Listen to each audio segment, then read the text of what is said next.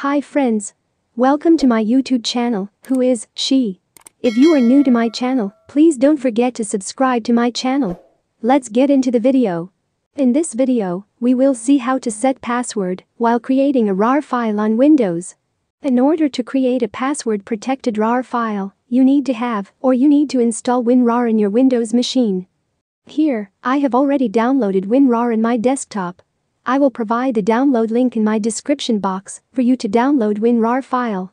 Let's start installing the WinRAR application in our machine.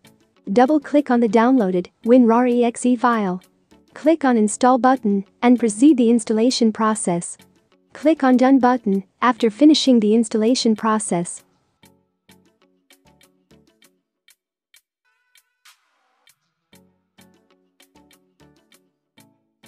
I have already created a sample folder in my desktop. Inside the sample folder, I have one sample.txt file. Now, let's try to create a password protected RAR file for this sample folder.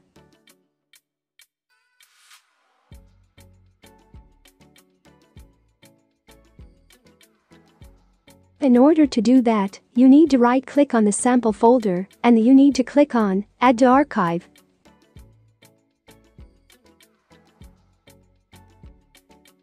Then, you can provide the name for the RAR file. Let the format be RAR format. Now there is an option called Set Password. Click on it. Enter the password and click on OK button. I'm giving 123 as my password here.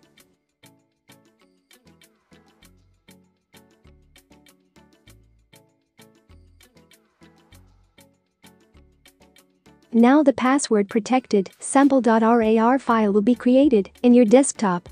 Double-click on it and try to open the RAR file.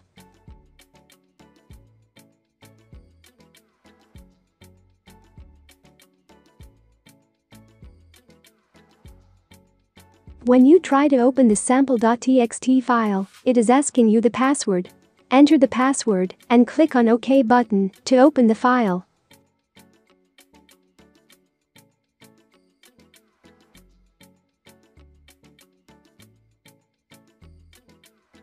Now I am moving sample.rar file to my new folder.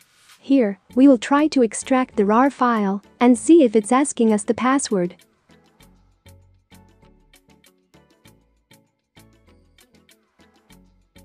When we try to extract the file, it is asking us the password. Enter the password and click on OK button in order to extract the files.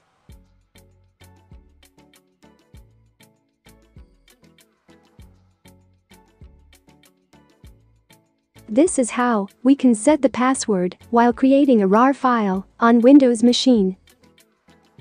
That's it for today's video. If you like this video, please don't forget to click like button. If you have any questions, drop your comments in comment section. Subscribe to my channel and stay connected for further updates on Who is She? Thank you.